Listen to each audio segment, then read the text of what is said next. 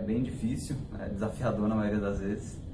É, durante muito tempo a estratégia que eu adotei foi de pegar menos matérias, menos créditos, pegava ali o, o mínimo de créditos que, que eu podia para poder me dedicar aos estudos e, e, aos treinos também. E além dos treinos tem viagem, então assim é, é sempre muito difícil quando você tem que se ausentar por uma, duas semanas e perde conteúdo, às vezes perde prova, então complica bastante. Mas agora nessa reta final para os Jogos Olímpicos Rio 2016, eu tive um apoio da, da coordenação de engenharia mecânica e também da Faculdade de Tecnologia, que eu estou com um trancamento justificado até os Jogos Olímpicos. Então, até os Jogos Olímpicos eu estou me dedicando